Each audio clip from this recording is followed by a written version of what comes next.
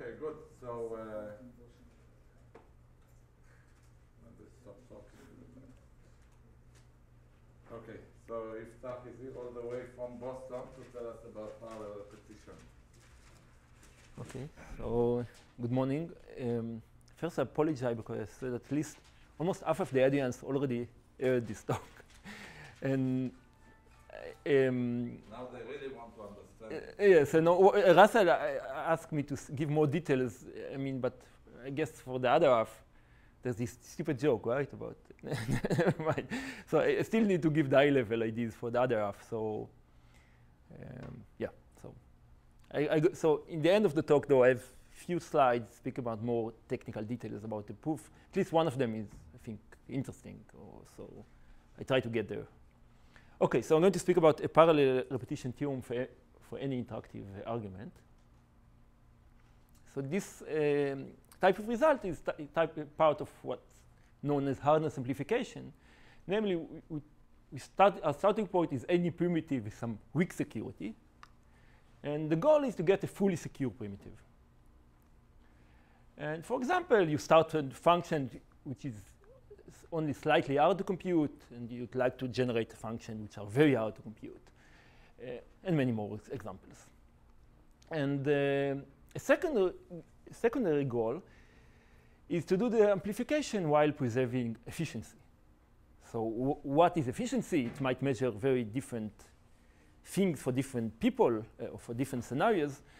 So as I'm focusing on, on um, protocol here, so when I, arguably the most important measure of efficiency is the round complexity. I mean, the complexity is also important, but if you have very high complexity, definitely, definitely very bad.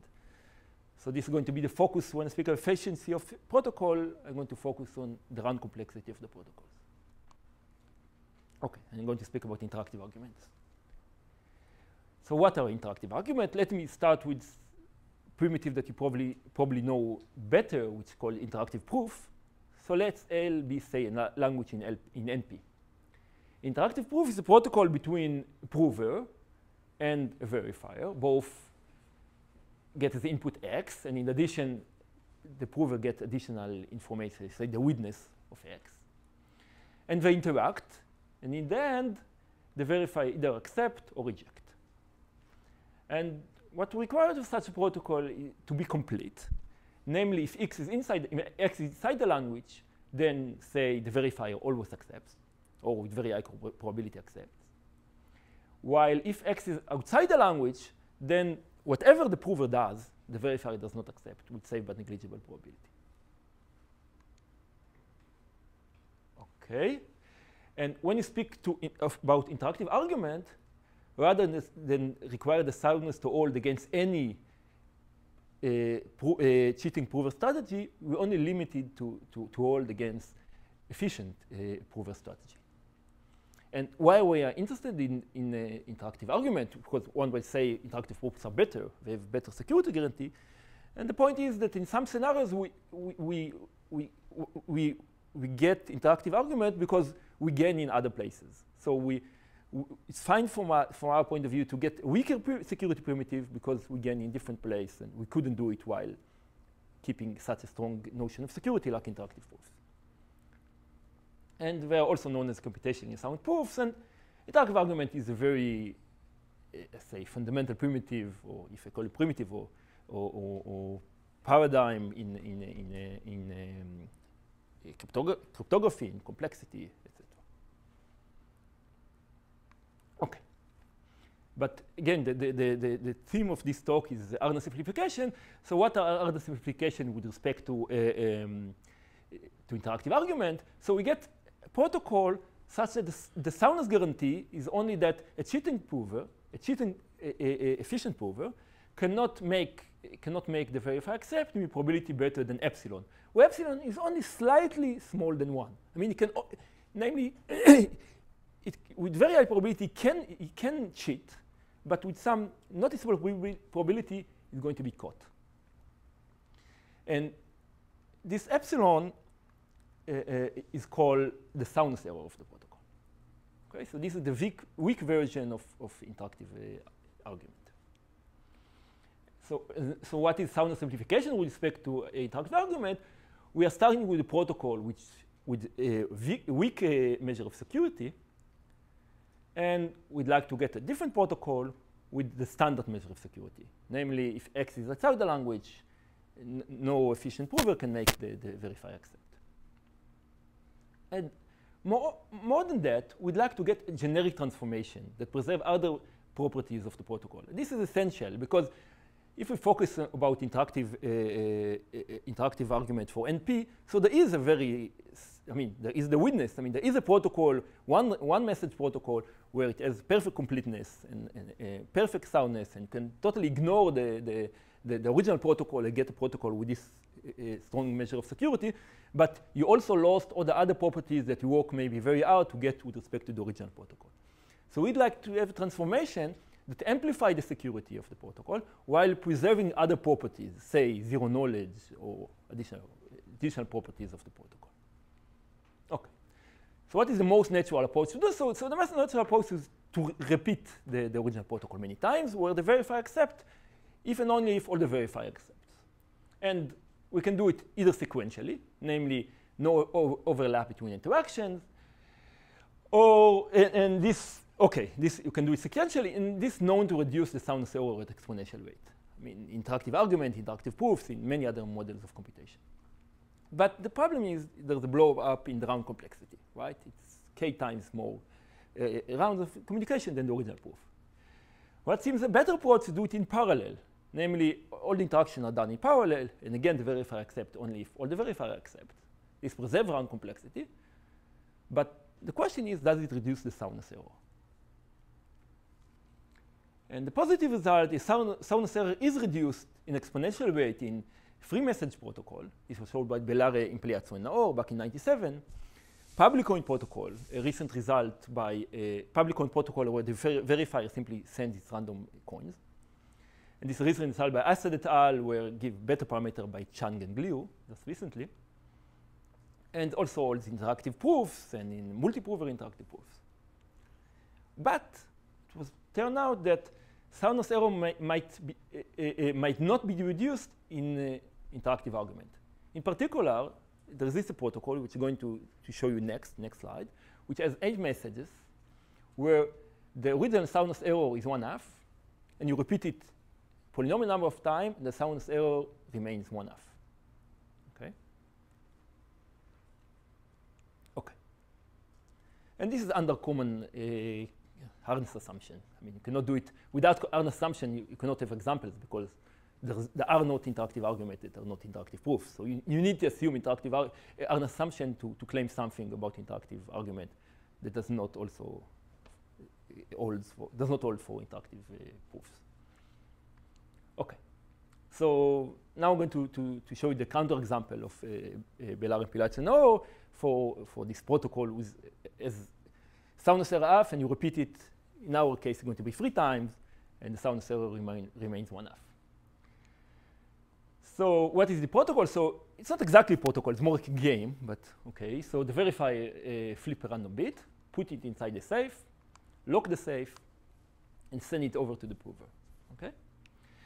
The prover uh, uh, uh, choose two bits, put both of them inside safes, lock them, and send them over to the verifier, okay? Now the verifier send uh, the key for the is safe to the prover, the prover send is keys, and the verifier opens the safe and accept if and only if the XOR of these messages, the, the XOR of these bits equal to, to the value of this one. And if these safe are really like ideal safe, then it's easy to show that the prover cannot cheat with probability more than one half. Right? I mean, because at this point, when, when when he had to send the safe, one sec, before, when he had to say the safe, at this point, he knows nothing about what the value in the safe is. So he can only, what, the only thing he can do it sends, it is to send unrelated values. And the probability that XOR of unrelated value equal to some value is at most of, to a random value is most of. And uh, essentially, this intuition carries also when you realize this safe as cryptographic primitives, namely as commitment scheme, was some type of commitment scheme. Yes? Is there a reason why the, I mean, the verifier sends his key to the prover, Yes? and then the prover sends the keys? What, what, why Yes, there is, there, is a, there, is, there is a reason. Without it, it's, the, the counterexample does not go through. You, you see the counterexample, and then you see why it does not go through. It is important. But uh, what I forgot to say is that it requires that the safe that he got from the, the, from the prover are different from the safe that he sent, right? Otherwise, it's very easy to cheat. Simply send me, uh, send him back the safe that he got plus a safe that contains zero, right? Then the XOR is going to be the same. But as you see, there's a small barcode here, which the verifier can check the, that it's different safes. Okay, so I, I agree, it is a stupid protocol, right? But it's only aim, sorry, Russell. but the, the only reason of this, no, it's a counterexample. I mean, uh, It's also actually similar to a lot of things that are actually done. They're also stupid. oh no, well maybe. Oh, like, like what? No, no, I'm Well, sorry. where, wait, wait. where you like are proving graph non-isomorphism, so within it you have a proof of graph isomorphism, uh, and where you're so where the you know, so where the ver you know the verifier becomes the prover and sort of proves that they can decommit, thus knowing that the original the isomorphism to the original challenge graph. Things like that where you're sort of sending over a commitment and then Okay, so, so okay, it's good. So I need this, uh, I have ex- an excuse now. So it's not stupid protocol, and uh, and uh, but the, you know it's proven lo- lower bound. Okay, so we have this protocol, and uh, as I said, the soundness error is is uh, one half. But that this is crucial that the soundness error, if you see it, see it as a, a interactive proof, is, is, is one. I mean, a all-powerful prover can always cheat because he can break the, the safe, see what's inside the safe, and then cheat. Okay, so this is important because we, we have no hope to have counterexample with respect to interactive proof. Parallel repetition of interactive proof does reduce the error. Okay, good. So now I'm going to, to, to show you a cheating prover for free repetition of this uh, game, where this can extend to any case. So free, free repetition, so, you know, like, th- this is the game. It sends a free safe, and now it's going to be, the, you know, in cryptography or in, uh, in dig- digital world, we can multiply things very easily. So what the prover does, he multiplies each of these safes and send them to the other two uh, verifiers, right? Note that each of the verifiers is happy because the safes that he sees are different from the safe that it sends. It is true that it's simply the safe that the other verifier sends, but it doesn't check it, right? It's not part of the protocol. So it is, but when you speak about parallel repetition, it's not the same. All that the verifier does, it checks that, the, oth- that, that all the verifier accepts. It doesn't do more, more tests than that. It is, I, I agree that you can fix this protocol, but this is not the point. It's, you know, every counterexample, if you ruin it, you fix it, right? But this is the counterexample. If you're not, if you're not allowed to send any of the boxes back to the verifier, do you have another counterexample? If I not send to send, eh, eh, eh, If you can't uh, send the, the verifier a box that you got from the No, but it's a box from the different verifier. from a different verifier. Always but, a- there's, but there's one verifier that simulates all of them, right? So thing is, still if it's not non-malleable, you can, there are, there are protocols that you can change the box but keep the value. okay. So it's it's still uh, open source. No, I think to begin with, you want the commitment to be non-malleable. Non-malleable, yeah, it's really, uh, it's really non-malleable commitments, No, right? but there is, I mean, Sam- Sam Just asking if this is like the only the only way to. So this is the, probably you ca- I, I, I, probably Russell thought about m- w- way more than I did, but uh, uh, um, probably there are other kind of examples. But you know, I, I think for, for us as a, as a theoreticians, it suffices, right? I mean, uh, But um, this really captures what you that we were worried about in parallel repetition because what he's doing is he's using in session number one things that he learned from session number two and three. And that's sort of what- what- What always, oh, oh yeah, he's causing correlations between one and two and three. And that's always what you were worried about creating correlations between the different. Uh, and think if you want, like to have the generic verifier, you can always mask this very. Uh, give me any generic verifier that should work for any for any parallel repetition. You can always mask this uh, safe that is, is it won't be clear to him that I'm sending you the same safes, right? Actually sending commitment, you do a zero knowledge proof of knowledge that you know the commitment or something like this. Yeah. Okay. Great. It's actually probably probably you can do something better than safe. Yeah.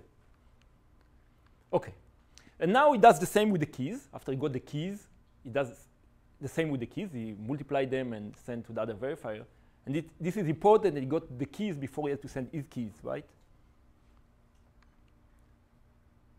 And now the, the, the verifier opened the safes, and it's easy to verify, it's easy to check that if the XOR of all the bits of the uh, three different verifiers is zero, then uh, all the verifier accepts simultaneously.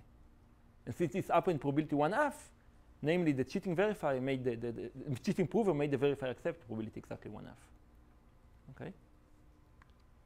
And, and therefore the soundness error is one half. So I, I gave you example for three rounds. This definitely clearly can be extended to k rounds. And more than that, it was shown that Rounds, right? A, a free uh, repetition, it clearly can extend to any number of repetitions, but more important, it can extend to, to, to, to any number of repetitions with, a single protocol. So here I, I tailor the protocol specifically for, for free repetition because the verifier sends two safes. If I would follow this approach in order to, to, to tailor protocol for k repetition, uh, the verifier to send k minus one safe. But uh, um, Pietrzak and Wikström show that actually there exists a single protocol that even if you repeat it a, a polynomial number of times, the soundness error remains one half. So this is important because it says that otherwise one might claim that the problem is that uh, uh, you didn't repeat the protocol enough times uh, to overcome the fact that the communication complexity of the protocol is larger, which is the same phenomenon we are opening like uh, uh, multi-proof interactive proofs. But here also no, the, communication, communication co- uh, uh, uh, complexity of the protocol is fixed and still repeat it any number of times and it's still the soundness does not reduce, is not reduced. So this was till now I show what what we kn- knew till now and uh, and what is our new result. So we show that take any interactive proof, interactive argument. So and you slightly tweak the verifier in a, in a manner that I'm going to show you in next slide. Then you get a new protocol such that when you do parallel repetition to this new protocol, the soundness error does reduce in exponential rate. Okay, so this is the new result. And more than that, this, this tweak is going to be such that most natural properties, actually it's very hard to think of a non-property that does not preserve while uh, um, with respect to the new verify. Namely, you start with the protocol, you got a different protocol, but essentially everything that the original protocol has, also the new protocol is going to have. And what is this tweak? So let's consider any, uh, uh, any interactive argument that has m rounds. So the tilde verifier does exactly as the original verifier does, but following each round, it flips a random coin, probability 1 over m, uh, and probability 1 over m, it alt and accept. Um, otherwise, continue the original verifier does. Namely, in the second round, you also flip a random coin, alt and accept, uh, uh, um, and so on. And if it never halts through the execution, then it simply accepts if the original verifier does. Okay? So, namely, what the only thing we do is just increase the probability that the verifier halt and accept. So, like the protocol is in a sense less sound. But what saves us, when he accepts, he doesn't send any more information to the prover. And, then, and, and we see in the example, I'm going to say more things about it later, this information, this additional information that one verifier sends to the prover, exactly what gives the, the, the, the counterexample of the parallel repetition. Okay? Uh, okay.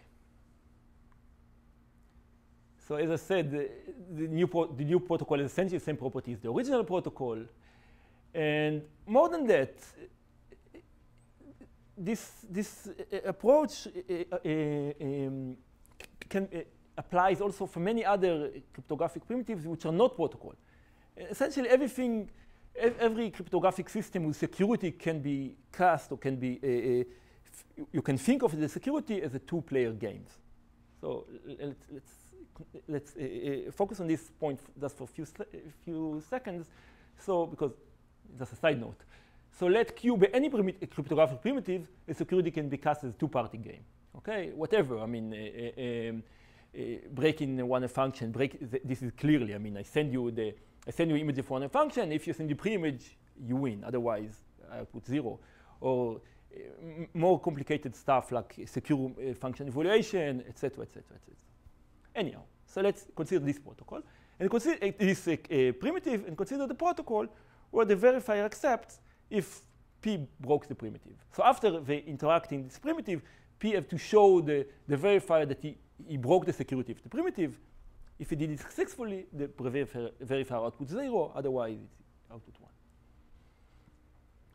And so if we view it the, now as an interactive argument, the, the soundness simply equals the, the security of the original protocol, uh, the original primitive. And therefore, if we now consider the tilde version of the protocol, where again, the, the, the, the side of this game played by the verifier, also after every run with some probability 1 over 4 of m, and then we do parallel repetition of this, uh, of this protocol, it's followed that the soundness of this protocol reduces, and namely the security of this primitive reduces by parallel repetition. And this is important because there's like, for instance, a, a, computationally binding, a, statistically binding commitment scheme. We didn't know, actually it's not true by the counter example of, uh, of uh, et al., that parallel repetition reduced the soundness error.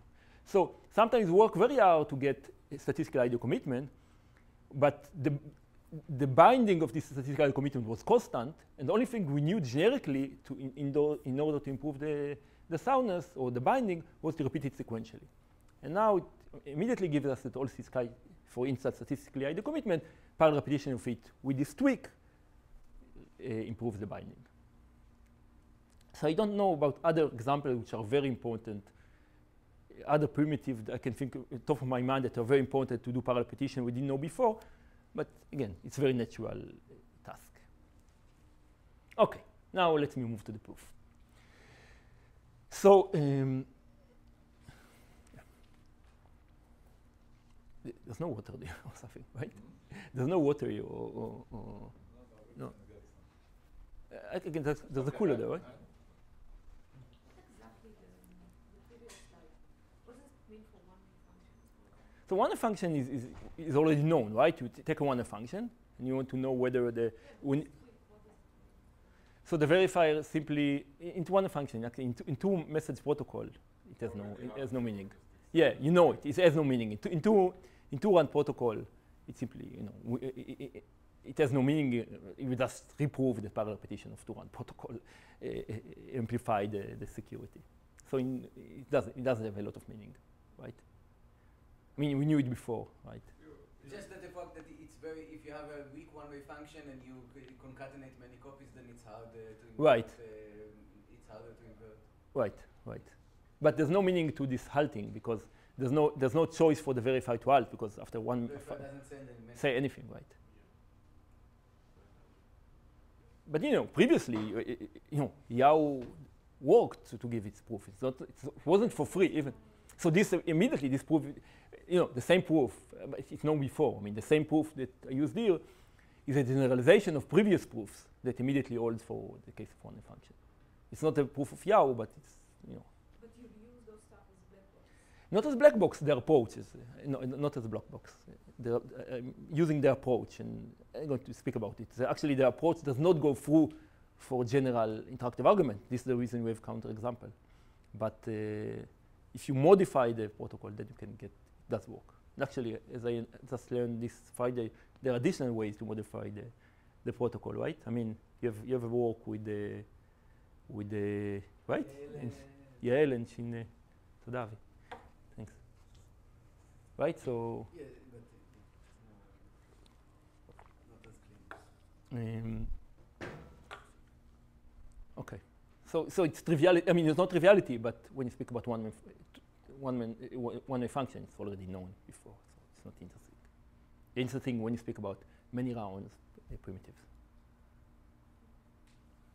Okay, so uh, I want to speak now about the proof, and, and, and let me start with the proof of standard public coin uh, interactive argument protocol, Well, again, public coin means the verifier, what only, the only thing that he does is simply sends random coins. It's run, he flip random coins every time and send them over as his message. He does nothing like that, and then his decision is only function of the random coin. And this is in the spirit of the result of uh, Håstad, uh, Håstad et al., of the proof of Håstad et al. So uh, again, fix L, fix X, and assume that the probability that the verifier ac accept with any efficient cheating uh, prover is at most epsilon. And you want to prove that uh, um, when you repeat it k times, the probability reduces exponentially. And the only thing we can do is reduction. I mean, assume we assume towards the contradiction that exists a, uh, a, a, parallel repetition cheating prover that break the, the assumed soundness, and we use it to break the assumed soundness of the original protocol. Okay, and we just fix L and X and, and assume also the generality that, that the prover is deterministic for the rest of this talk. Okay. Okay. So how are we going to define this cheating P star? Again, the starting point, we have a cheating P star for the K games, and we want to, to, to define a cheating P star for a single game without repetition. So the K games accept to interact with K verifiers, right? So what we do, we're going to pick at random one of these verifiers. And this verifies, verifier is going to be the, the, the real verifier in a single game, right? While the other verifier, we're going to play by ourselves. And we call this, this going to be the new provers, which, which includes the, the k provers plus the other k minus 1 verifiers, while the real verifier is going to be the, the if verifier in the original protocol. Okay, so this is the, the, the, the this is the very high level sketch. And what all is left to do is what we're going to do here. I mean, we have this part, we have this part, but how do you use these two parts to break the soundness of the original protocol, namely to interact with V? Okay. So, so the, this, this uh, adversary uh, succeed with very small probability, and you want to succeed with very high, yeah. probability against Right, right, right, exactly. So, up. Um, second? Yes. Okay.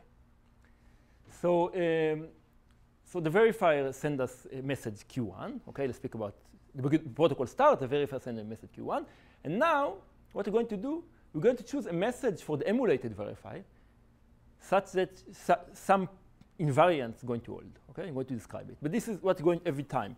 The only thing we're going to do, get upon getting each message of the of the real verifier, we're going to find a good message for the other verifiers, send together all these messages to the prover as the message of the k verifier of the k game. The prover going to answer to us, and we're going to, to take the, the if message of this uh, if it responds and send it back to the verifier. So this is the very high level approach. But how, and the point is how we're going to choose this message for the emulated verifier. This is the only randomness we're going, or it, this is the only things that matter. The way you're going to choose this uh, uh, this message. So how are we going to choose it?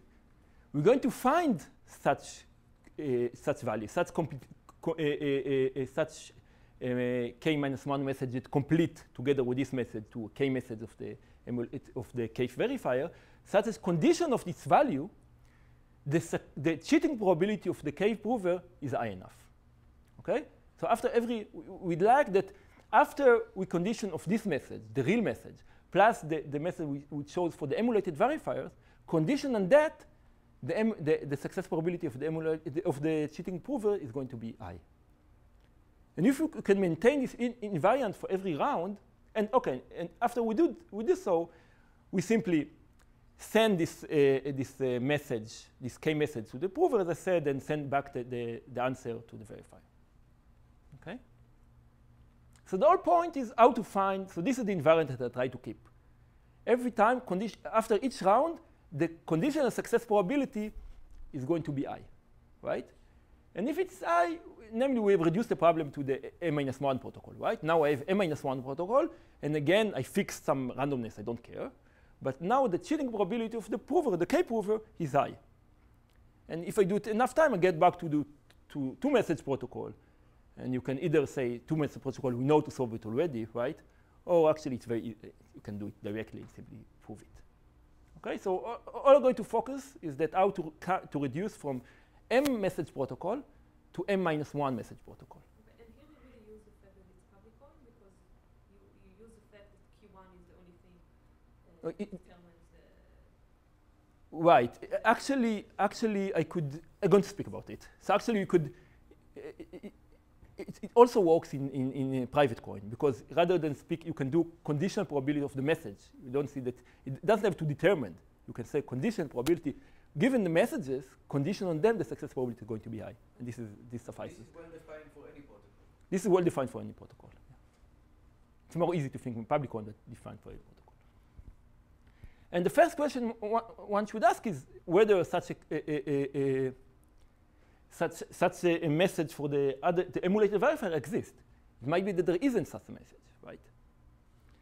And actually, it turns out with high probability, sure, you, want to go from, from epsilon to the k or whatever to half. right? yes, yes. So here you, only, you stay with the same epsilon. Right, but till I get to the to the final round.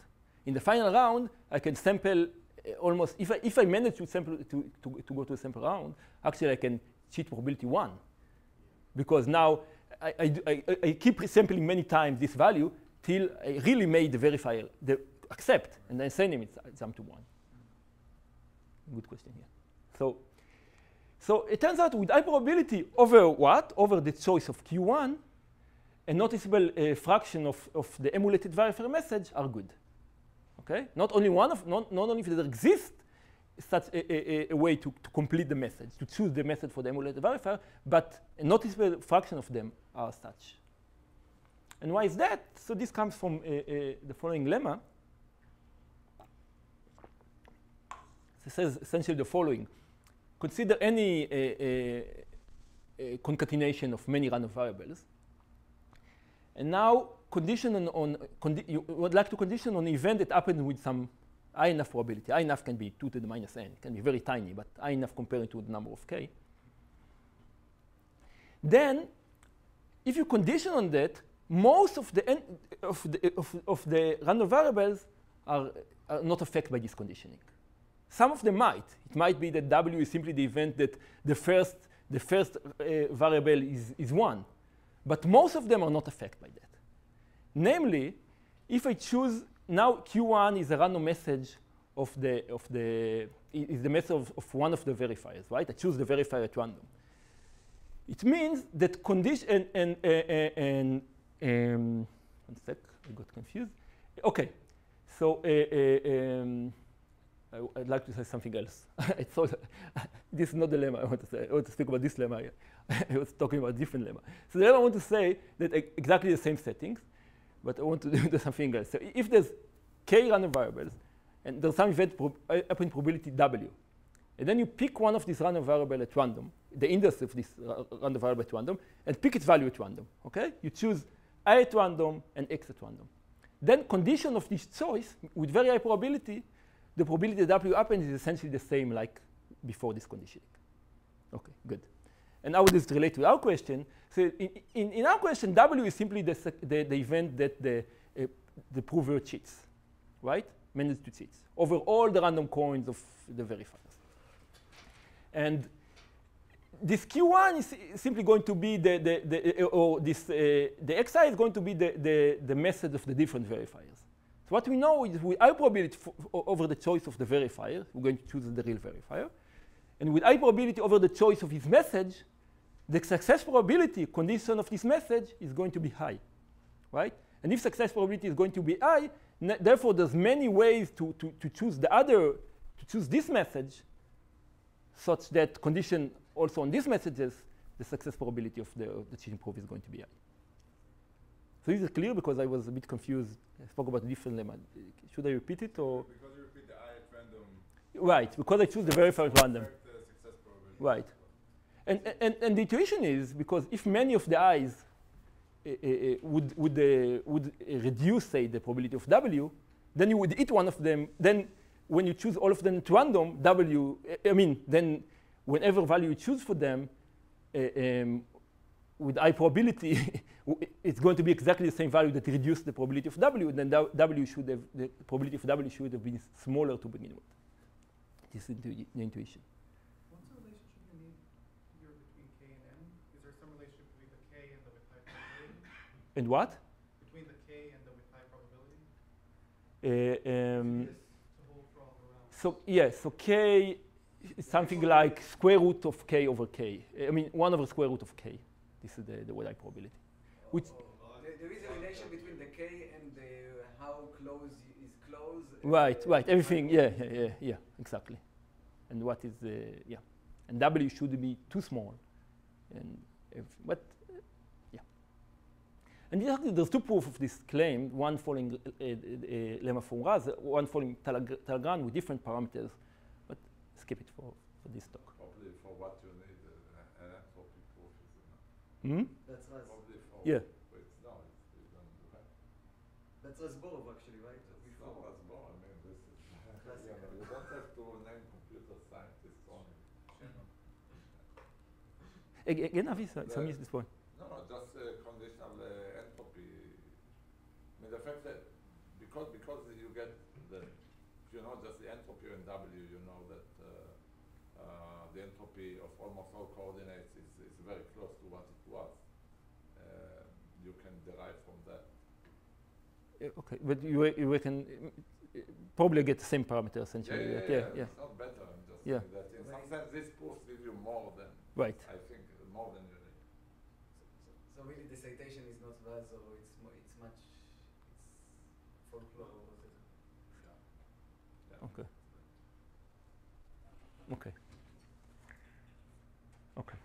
So, uh, uh, um, okay, so, so till now it does uh, uh, convince you, try to convince you why many, many of these, many for with high probability of, over the choice of Q1, ma- there are many such values such that this condition holds.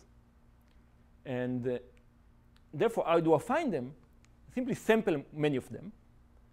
And for each of them, I'm going to estimate this, this value. So I'm going to sample. Many of them are good. I'm going to sample enough times. And if I'm able to estimate this value, one, once I got a good one, I, I'm fine, and I'm going to choose as the value that I like. Okay, so this is a strategy. And the main issue is how to estimate this value. Okay. Okay, so uh, next I'm going to, to focus about how do I going to estimate this alpha. Again, what, what is alpha? I'm given now the message of all the verifiers, of the real verifier and of the emulated verifier, and I want to know what is the, success, the conditional success probability of the prover when I fix these messages. So, okay, so this is the, the picture, and uh, uh, how do I estimate it? I simply do the, the most natural thing. I, I do many random uh, continuations, many samples uh, for the, the, the all uh, of, the, of the full protocol, and then count the, the, the, the fraction of successful uh, continuation. Okay, so I, I, I do one sample, I do another sample. And the point is that since V, v is public coin, sampling random continua- continuation is easy, right? What is random continuation? Simply random messages. So it's very easy. I mean, there's no dependency between the future message to the previous message. I can simply flip random coins and I got random continuation. And the issue is, and this is why a, a parallel repetition of, in the general case, does not go through, is that i- in general, sampling such random continuation is very hard. I mean, this is simply equivalent to, to finding a, a, a, random, a pre-image of, or even a random pre-image of a, of a function.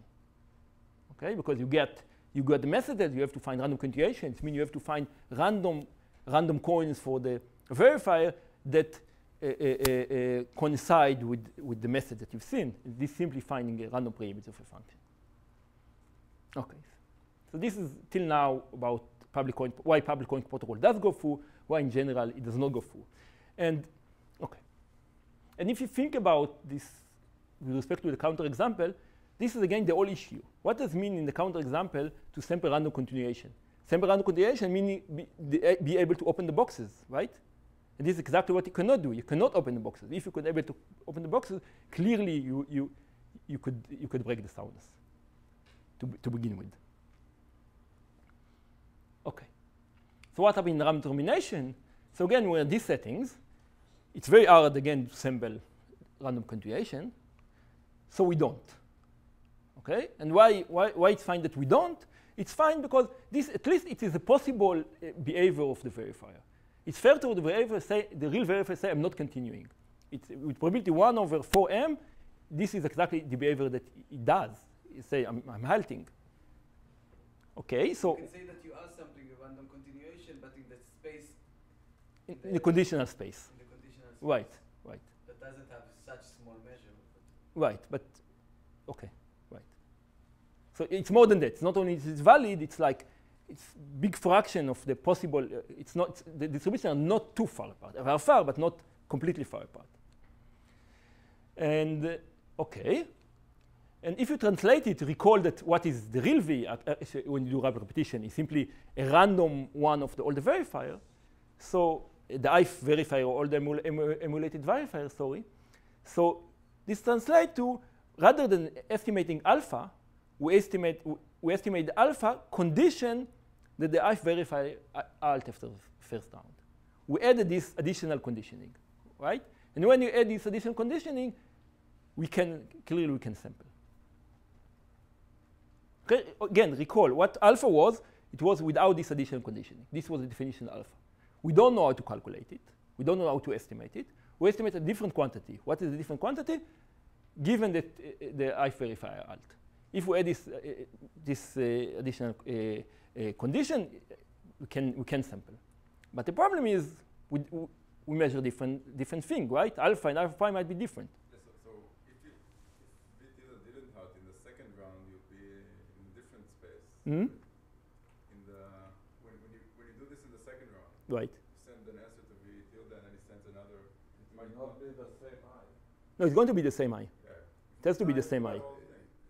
But if you, i- so every time I add some noise, but if you accumulate all the noise. In the in the second. So what I'm going to do, I'm going to condition that it halts, but it's not going to halt, right? Only, I only, halt yeah, but, so actually I'm going to condition that it is not halt, because if it halt, it's not good for me, right? I'm not, I want to, to never halt because I want uh, to, to break the soundness of the original verifier, actually.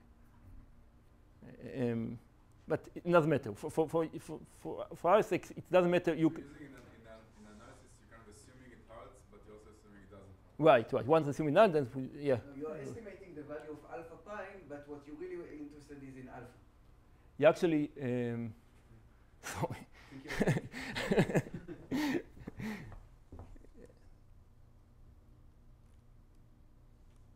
Yeah, sorry. I'm late. You ran out of battery. I mean, that's No, it should be con- continued. uh, 49 minutes. Not Oh, okay. No, now it's fine. It, it was uh, a bit disconnected. Yeah. So it's uh, so, so you, you really care about the value of alpha, right? That's what Right, uh, right, But you just so you were estimating alpha by alpha by alpha prime. right. And there's additional issues because after that, actually, I'm not interested in the value of alpha. I'm, I'm- uh, actually, I want, I, I'm interested in the value of alpha condition that the if does not alt, right? But this is actually what I'm going to do. But this is the additional uh, statistic. I'm not going to get into it. Okay. I, yeah. If you're going to succeed with very high probability, even if you and then that's uh, some union bound, you're going to succeed in, the special case that where it never hunts, right? Eh, eh, No, exactly the same. I have to apply actually exactly the same approach to do it. I, I, I applied the approach twice actually. One to move from alpha to alpha, alpha prime to alpha, and then from alpha to alpha double prime, which is the condition it does not alt. So I apply this lemma twice every time, but eh, doesn't matter.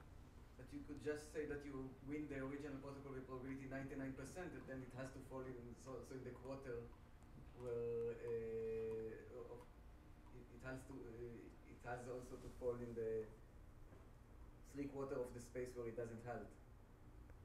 Uh, uh, right, but uh, um, but I do many samples. Okay, so I it's, it's more complicated than that. I'm going to eat. I mean, if I if I do one sample, it's fair. But I do many samples in the estimation. So it's I mean it's not that I'm doing only one sample. So then even if small probability, I'm going to eat it. This uh, this is the point. Okay. So what I need to show you why alpha prime approximate alpha well. Okay. And again, moving from one round to many rounds, simply union bound. It's nothing more than that. I mean, yeah. this is the right time to ask it, but if you're shooting for exponentially small soundness, then uh, how, would the polynomial time adversary will So I- I cannot get- exponentially small probabilities? So I cannot aim actually. In, in any interactive argument, I cannot aim to exponential small soundness. I can aim to it, it, it, it decrease exponentially till it get to negligible. When it gets to negligible, I cannot go further than that, right? In all, all the product results and Solem are this, uh, this, you know, artifact of the, the time to simulate is, uh, you know, one inverse, uh, you know, the inverse is the probability you achieve, plus exponential. Yeah. So the question is, does, does alpha prime uh, approximate alpha well? And and the reason is exactly the same reason why I argue why, why most, you know, previous that why most of the methods of the verifier does not change the probability. So exactly the same, the same reason. Namely, now I think that uh, uh, um, I have the following game. I choose at, at, at random which is the real verifier, and then I'm going to choose at random whether it's alt or not. Okay? So now if I do so, if I condition this one, I didn't change the, the success probability of, of the prover by much. But now I'm going to take it another step. I'm not only going to choose at random whether the I verify alt or not, I'm going to choose that it does alt. But still, average argument says that even if you force it to alt, you don't change the, the, the, the, the success, the, the, the probability of W by too much. Uh, As long as yeah. it's with high probability is more than 1 minus 1 over m or Right, right. whatever is the Right. Right. So again, so if, if I would choose if I would choose whether the I verifier alt or not at random according to the real probability, then it was just this lemma. But we know because it alts probability 1 over 4m, this is a typical, I mean, with, with this exactly with this probability, thi- this is going to be the value you're going to choose. And if this would, by condition that, it- that it's actually alt in the I verify, we would reduce W by a lot, then it would, would reduce only the W by a lot when choosing uh, it at random. Yeah. So you- you're gonna need k to be something like m to the fourth. Actually, f- I got worse than that. M to the eighth, I think. Wow. Okay. Yeah. If m is three, that's okay. Yeah. So yeah. So it's it. Well, I have to do also union bound of all messages, right? After this, from one one one round, I have to do union bound for all rounds. Um, so, uh, Dan, you had a question. No, no, I was about to ask uh, whether the number of, you know, obviously the number of something Yeah, clearly, clearly. So, so it's- okay. So, uh, um, okay. So this exactly, this is the, the, the eye level of the proof. Okay, I'm simply using actually the same the same observation that that uh, that uh, allows us to, to do the the original uh, public coin case. Give us essentially also this additional property that with respect to random termination. Okay, so I'm going to now to, to speak about two, two more uh, uh, stuff that I didn't speak about, the previous proofs. Uh, um, I think one of them is, okay, so, so I, I, was very sketchy about, I, I- spoke about uh, public coin, and then I was very sketchy about what happened to private coins, and exactly what Dana asked, what is the message, what are the cues, are there the, the messages, or where are the, the, randomness, etc. So, um, so now, so we have a proof for the public coin, it works. And now we want to move to private coin. And the question is, how do I interpret the, the message of the, of, the, of the verifier in the random coins, in the public coin case? Because I want to, to, to use the same quantity in the, in the private coin case, okay? So what, what, what are the methods of the, of, the, of the public coin verifier? One option is to view them as messages, right? So I want to say that the original proof of the public coin went through when I viewed when I viewed the the the, the, the message of the verifier uh, the the sorry. Uh, this is when you wake, wake up at 5 a.m. sorry, sorry. Okay.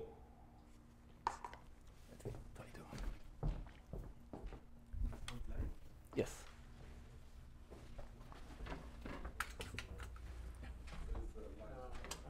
Good.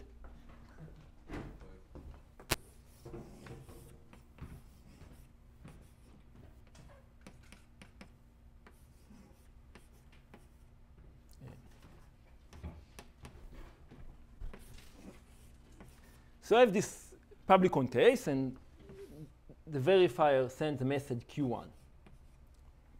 And I know that in the public coin case, everything works fine. My proof go through. And now I want to do exactly the same proof in the private coin case. But recall that here I'm going to condition, I'm going to condition uh, uh, the success probability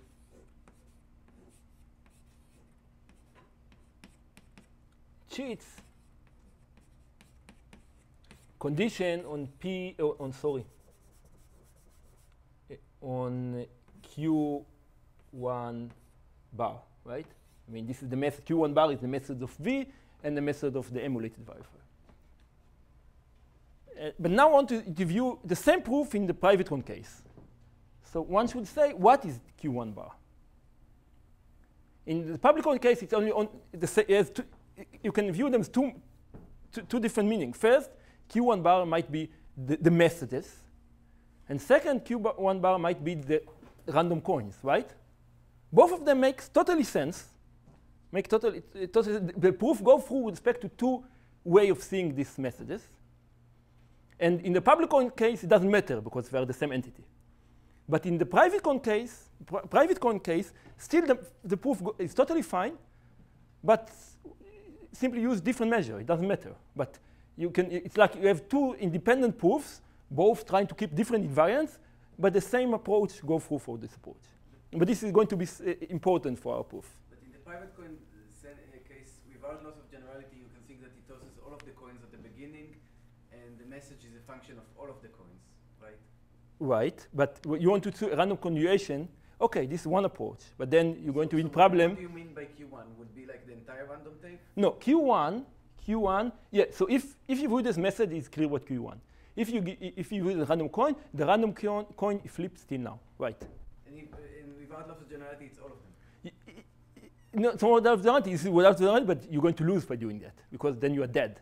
Because there's no way, if this is all of them, there's no way you can do random conjugation. Random conjugation, this is going to be very clear. Only, but you don't, you, you won't have, you, you cannot compute what the value is of this random Yes, but conjugation. that's the problem. I mean, you're given the verifier.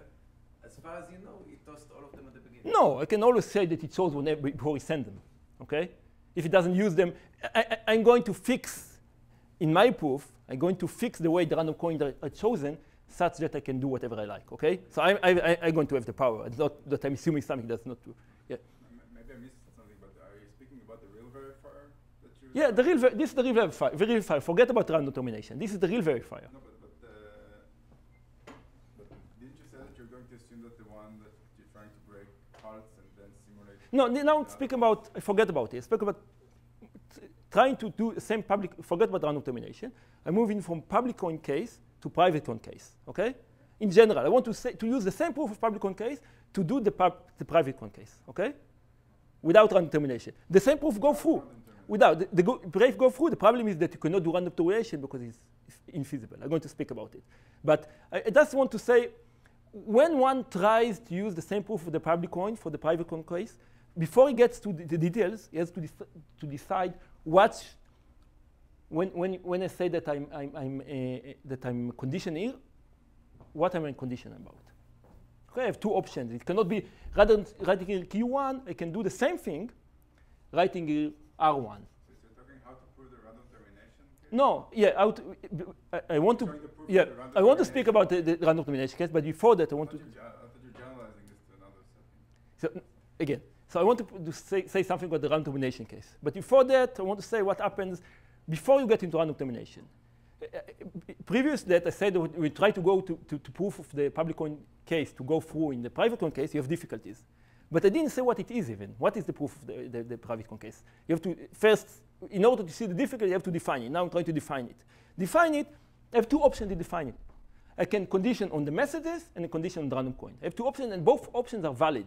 Both options Eh, eh, eh, going to yield proofs, assume that you're able to, to, to sample random t- uh, continuation. Okay, this is the whole point I'm trying to say. Okay, it tends to be imp- important, important point. So, so I can either view them as message or in random coins. I- If I view them as message, which is typically what everyone does, inclu- including when you can use the same approach I use for public coin, you can use to prove private coin, but for proofs, not for argument. Okay? So, so it is infeasible to sample, if you, uh, uh, uh, um, if you view them as messages, it's infeasible to sample random continuation for the real verifier, but actually also for the emulated verifier. So for, the emulated verifiers, you have the message, right? You have the message, you choose it yourself. You even know the randomness that led to this message.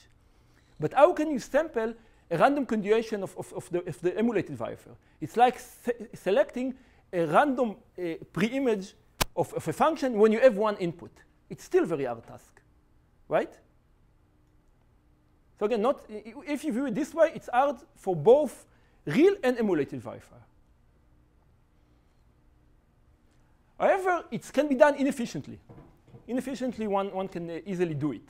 Why? Because, you know, it's selecting random preimage of a function is easy if you're inefficient. And this is exactly what makes the interactive proof go for, for proofs, not for argument. Because you can do, you can emulate random, termination, uh, ra random continuation of the emulated and of the real verifier. Okay?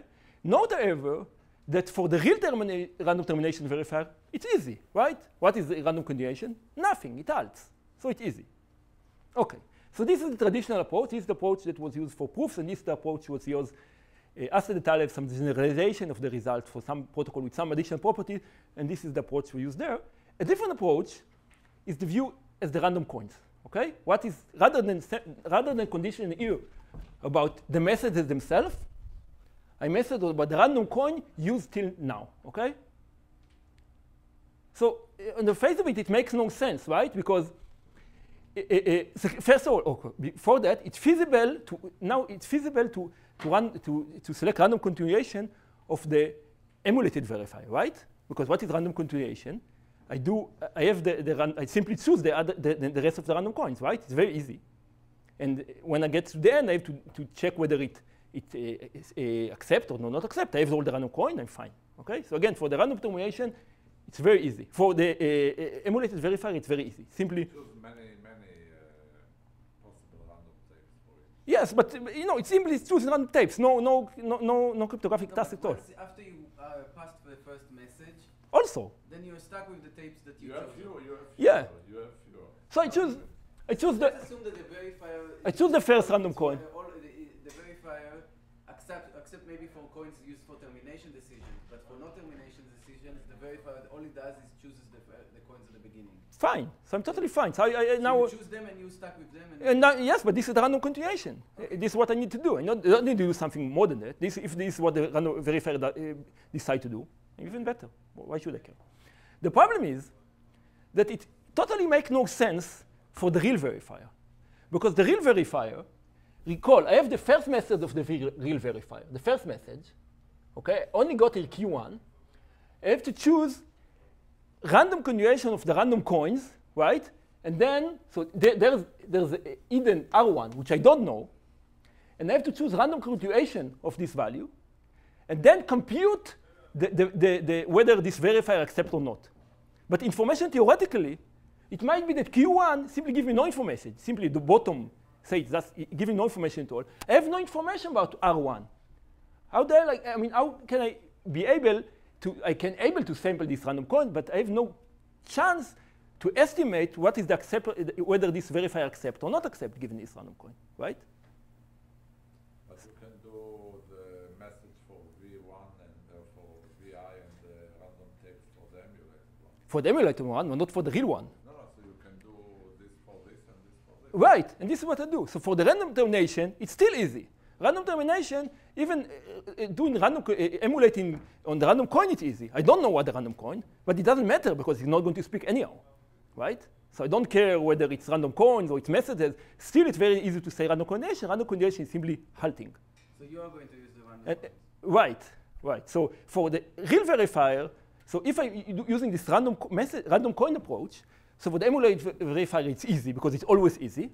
And for the real verifier, it's still easy if I view the message as the random coin, rather if I view the condition on the random coin and not on the mess on the transcript. And you can think that basically what happens is that there is one random tape that's you use them for once and fixed, and then the only continuations you just term the, the, the termination. Right. uh, This is what I do actually in the proof. easy. This is what I do actually. Yes. So Yes. one way to think about it is without loss of generality, the verifier can commit to all the bits that they're going to use in the rest of the proof and send that as the first message and never decommit. And then it's the same, and then it's the same, same es- estimate, uh, the same value, right?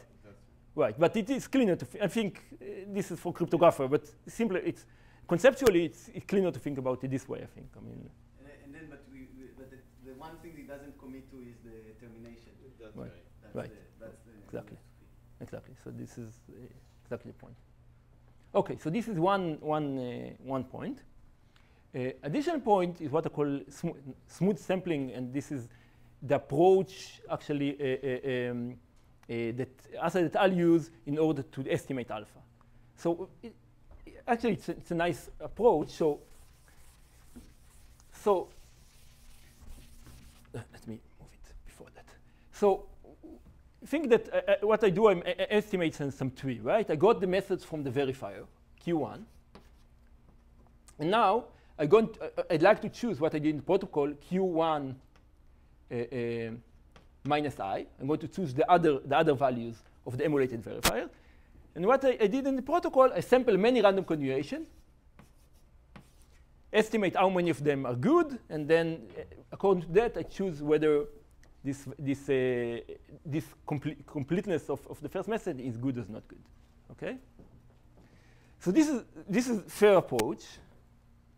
Um, yeah. Okay, no, now.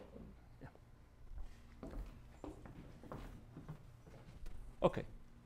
And uh, the, the problem with this approach is now I'm going to use some threshold function, right? I'm going to use some threshold function whether this completeness, this, this value is good or not good. If together, together the condition probability is i larger than some something, then it's good, otherwise it's not good. And the problem is that I don't actually estimate the right quantity. I only uh, uh, estimate a different, I estimate a different quantity.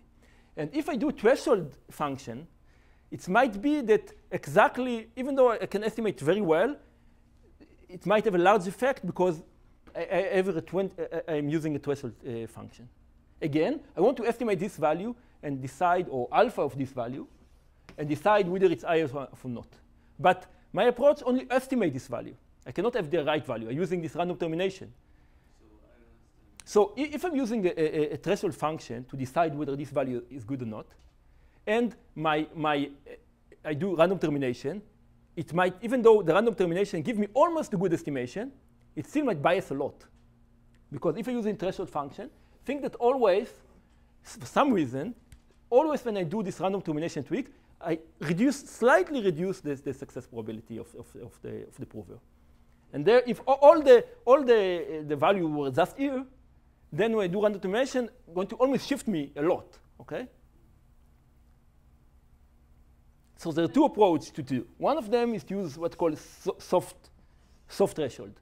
Not use hard threshold, but just you know exponentially decaying threshold.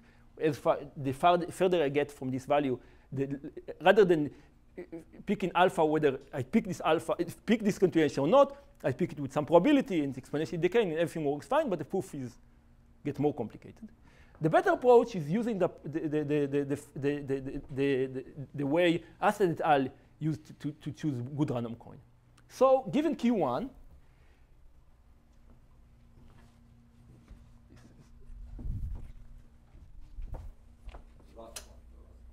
This one? So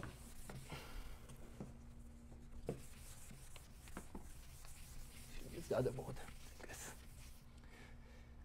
So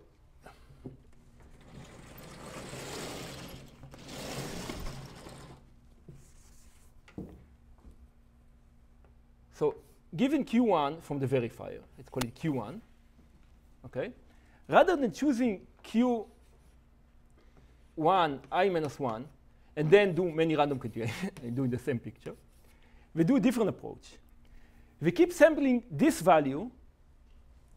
So this is the, the, the approach that I use, but the approach that you use, a given Q1, we keep sampling Q1 i minus 1, uh, minus i, sorry, the value for the other verifiers, together with one continuation. Only single continuation. Okay? And then, if the single continuation the, all the verifier accept, they take this prefix. Otherwise, they delete this value, delete this random continuation, and, select a different value for q1 minus uh, uh, 1 minus i. And do again. If this random continuation is good, they, they choose this prefix and forget about the, the, the, the, the suffix. Otherwise, we pick another one, okay? And it turns out that this approach, even though it doesn't give you the same properties as the original approach, it's almost as good. But the advantage is that now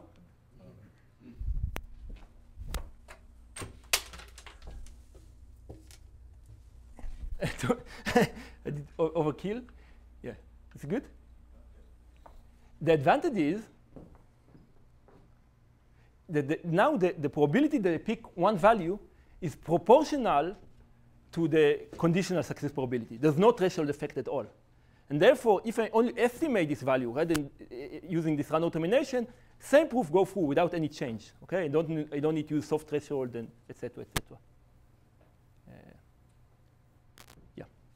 So I just point out that the original proof actually does go through with soft threshold, but that's more involved and much simpler to use this approach for, for getting the, the result. But these are, Yeah. I mean, th- there's no technicalities in that. The idea is that you can basically assume that this verifier holds and. Uh, Yeah. Uh, so the previous one, this is technicality. This is technicality. The, the view of the random coins is like, because otherwise you couldn't even uh, do a continuation of the real verifier.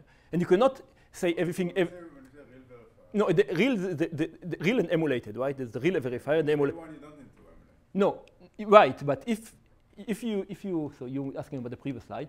So if you here if you use the the, the seeing the condition on the messages, then you cannot cannot only uh, you even cannot random uh, continuation the emulated verifier. And you cannot use this random termination to say that everything alt, okay? This won't, buy nothing. You can, when, you can say that one verifier alt and condition that doesn't change much. But if you assume to all the verifier this is an untypical event, and therefore you definitely change a lot the, the, the conditional probability and you get nothing, right?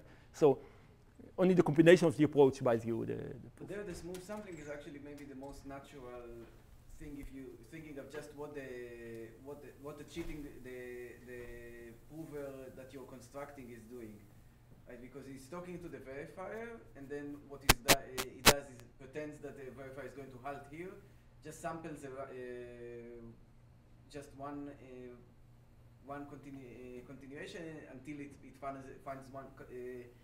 Sam- samples uh, instances in its belly until it finds ones that where everything accepts and uses that, right? That's uh, for me it was less natural. I mean, for me more natural was say I want to s- I want to keep some you know I, I want to, to choose my answer in the best way I can. What is the best way? That condition that I'm going to do good. I, I need to estimate this value. I mean, and actually this this approach does not give you as good prover, but it's good enough prover. I mean, it's b- there you, you have way better handle on, on what going on, right? You're going to choose only very good, uh, very good uh, uh, uh, suffix, and there you might choose with some probability very bad suffix. Uh, prefix. Uh, yes, so further issues. So, as Russell no- noted, the m goes goes up in my proof. I need to do repetition like m's, maybe 10 even, and to the tenth. And and and uh, actually, hmm? Seems to be getting worse over time. May I, I don't think, or, or either eight, to eight uh, uh, m to the eight or eight to the tenth. Anyhow, but actually, um, al. is a new version of of the of this of essentially the- the generalize even my, my approach. We say we don't care about random termination. What we care is that you can sample continuation which is not too far from the real from the real uh, uh, distribution. Okay. Here I, I- spoke about a very specific example where the random termination is such. It's not that far by alting. You, you, you're not that far from the actual continuation. But you can generalize it. We don't have any example, but you can generalize, say, if I can somehow sample uh, something that's not too far from the real continuation, then I'm fine. so that's what we can. That's why Håstad et al. Uh, without dependence on. So Without them, uh, you actually emulate something which is computation distinguishable. No, this is what you do. You, you, you modify the protocol by homomorphically encrypting it, and then you get uh, optimal parallel repetition without dependence. By the way, uh, probably you could do it. I asked Salil and, uh, uh, about it, so probably you can do it with the garbled circuit as well, but just blow up the, the a bit the communication complexity. Seems Um, yes, yes. So it, is- it is. This is a different thing. Yeah. Uh, uh, um, so if I get a better parameter dependency of n, and that will recall what, but C depends on m. So this is one issue to get better proof. And I think the optimal, the Chung, the chi-bin thing, they, what for public coins, they don't depend on M at all. ah, the public coin does not depend on. Yeah, right. But uh, the asset type does depend on, on, on m.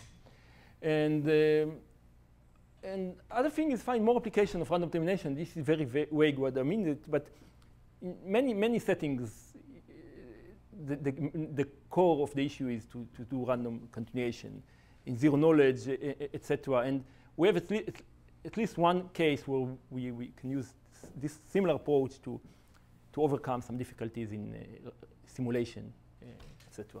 The, the, you can replace random termination with random termination only after the first round? No, you have to do it in every round. Every round. Oh, because you, Because now after the f- I have to choose what my second round is, right? Oh. Second method is, etc. I have to randomize every round. Generally, you can modify the protocol so the first round is nonsense. No. Yeah. Thank you. Thank you. Any more questions? Okay, thanks again.